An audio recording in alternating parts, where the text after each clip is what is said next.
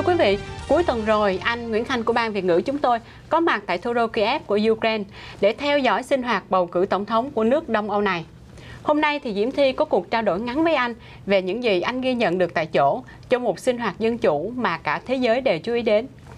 Trước hết, Diễm Thi rất mừng được trò chuyện với anh ngay tại studio của đài tại Washington DC. Dạ vâng, xin được cảm ơn chị Diễm Thi và cũng mừng được gặp lại tất cả các bạn à, ở tại Washington. Dạ, thưa anh, à, người dân Ukraine trước và sau bầu cử họ như thế nào anh? Theo tôi thì câu trả lời đúng nhất vẫn là cái nỗi lo âu. Hình ảnh mà tôi ghi nhận được là sự lo âu của người dân từ ông tài xế lái xe cho đến những người bình thường và ngay cả những thành phần trí thức mà tôi có dịp nói chuyện với họ trong 72 giờ đồng hồ có mặt ở tại kép, cho thấy là rõ ràng họ đang lo âu. Mặc dù nói họ lo âu, nhưng mà ờ, tôi cũng phải trình bày rõ ràng là người dân rõ là họ đặt cái niềm tin vào ông Poroshenko. Họ dồn phiếu trong đắc cử ngay ở cái vòng đầu tiên. Điều đó chứng tỏ là họ tin tưởng ở ông ta và chứng tỏ cho thế giới thấy cái quyết tâm của họ là họ muốn có một chính phủ để bắt tay ngay vào việc thay thế cho chính quyền lâm thời được dựng lên từ hồi tháng 2 vừa rồi. Thưa anh, trước hết thì mình nói về cái kết quả bầu cử. Cái kết quả này có gây ngạc nhiên cho anh cũng như người dân Ukraine hay không? Và tại sao cử tri lại chọn ông Poroshenko mà không chọn người khác? Về kết quả của cuộc bầu cử thì câu trả lời của tôi là không. Không có ai ngạc nhiên với lại cái kết quả này cả.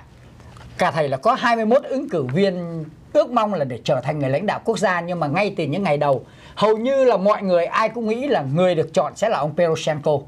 Điều này cũng được thể hiện rõ hơn nữa là ngay sau khi phòng phiếu vừa mới đóng cửa khoảng 2 giờ đồng hồ, thì kết quả chính thức lúc đó chưa được công bố, mà nhân vật được dự đoán là sẽ ờ, về nhì trong cái cuộc bầu cử đó là bà cựu thủ tướng bà Julia Timoshenko đã lên tiếng nhìn nhận thất bại và ngay sau đó thì chúng ta thấy là ông Poroshenko xuất hiện trong cuộc họp báo để ông trình bày cho dân chúng biết là những gì ông sẽ làm ngay sau khi ông tuyên thệ nhậm chức.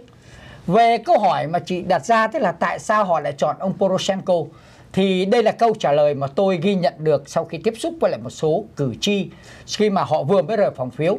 Người dân Ukraine à, nói rằng là họ thấy là ông có đủ mọi cái tiêu chuẩn mà họ cần thiết, à, họ mong muốn ở một nhà lãnh đạo.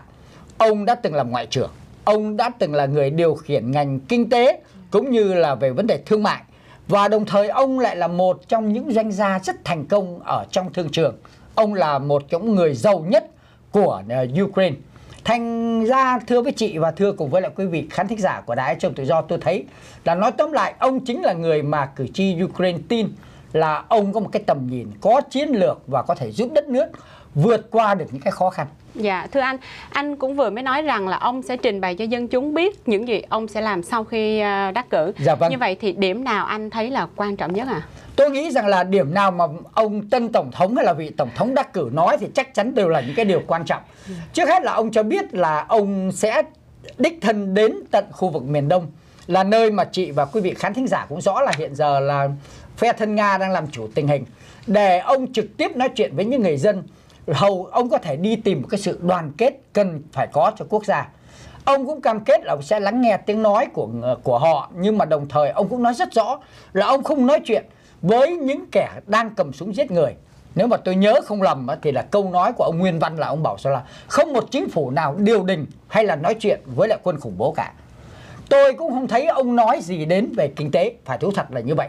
Đó là cái mối quan tâm hàng đầu của người dân nhưng mà tôi còn nhớ là ngay trong những ngày cuối cùng của cuộc vận động tranh cử thì ông có cam kết là ông sẽ đưa ra được một chính sách để giúp quốc gia phồn thịnh hơn. Cái chính sách này bao gồm cả về vấn đề đầu tư khai thác tài nguyên, kế hoạch hỗ trợ thương mại. Và tôi cũng còn nhớ rằng là ông có bảo với lại cử tri, ông nói rằng là kinh tế phải vững mạnh, quốc gia phải vững mạnh thì lúc đó mới được nước ngoài kính nể.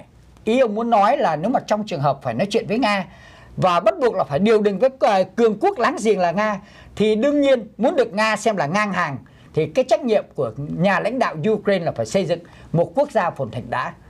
Về câu hỏi mà liên quan đến Crimea, thì họ bảo với tôi rằng là họ biết rằng là lấy lại cái vùng đất này không phải là chuyện dễ dàng. Nhưng vẫn có người tin và rất lạc quan. Họ nói với tôi rằng là nếu mà Ukraine thật sự vững mạnh, thì lúc đó sẽ có một ngày kéo được Crimea về lại với lại Ukraine. Tôi thấy đó là một cái nhận xét rất là lạc quan và tôi rất thú vị về cái nhận xét đó. Dạ.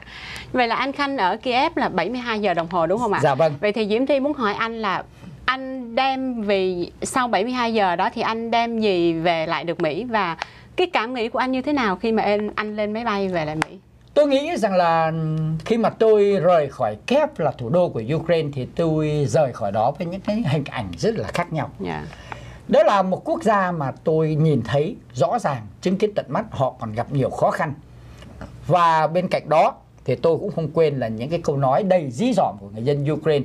Tân tổng thống của họ, họ bảo rằng là ông ta nổi tiếng là một trong những người giàu có à, không phải là của chỉ Ukraine, không phải là chỉ của châu Âu mà có thể nói là của thế giới.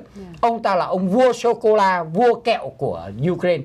Nhưng họ nói rằng là trước đây đó, trước khi mà ông trở thành tổng thống thì trong túi của ông đầy ắp là những tiền. Bây giờ thì trong túi của ông, trong cái cương vị tổng thống, túi ông vẫn đầy. Nhưng mà họ bảo rằng là đầy thuốc nhức đầu. Tức là họ biết là cái công việc của ông rất là khó khăn. Và điều đó cũng có nghĩa là cuộc bầu cử đã kết thúc. Ý chí của người dân đã được thể hiện qua lá phiếu và qua kết quả của cuộc bầu cử. Và tôi không dám nói là tương lai của Ukraine vẫn còn u ám. Nhưng phải thưa thật với lại chị Diễm Thi là cũng như người dân Ukraine, tôi không rõ là quốc gia này sẽ như thế nào, sẽ đi về đâu à, chỉ hy vọng cùng với người dân Ukraine, hy vọng rằng là mọi chuyện rồi sẽ tốt hơn Dạ. Xin cảm ơn anh Nguyễn Khanh rất nhiều và cảm ơn quý khán thính giả đã theo dõi chương trình hôm nay.